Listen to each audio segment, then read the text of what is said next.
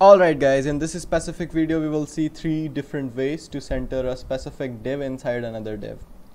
Alright, so first first of all I have some basic styling here so I am just setting the margin and padding to 0 for all of the elements. Then I have a parent and inside that parent div I have a child div. So I am setting uh, for the parent I have a specific height so this is like the total viewport height and I have a background and similar thing goes with the child. We have a background and I added some padding and also set the width and height also okay? So now the first way is using the relative positioning. Let me uncomment it.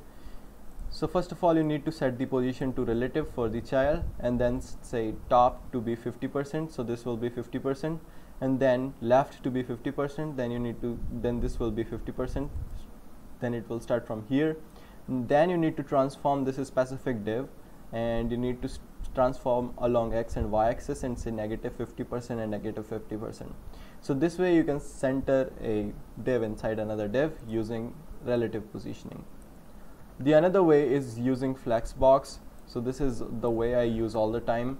So in this way, first of all, you need to set uh, the display property of the parent container as flex and then set the align item center and justify content center. So this will absolutely center your div inside another div. The third method is using grid. So in using grid, first of all, you need to set the display property of the parent container as grid and then set the align items to be center and justify items to be center. So these are the three ways in which you can center a div inside another div.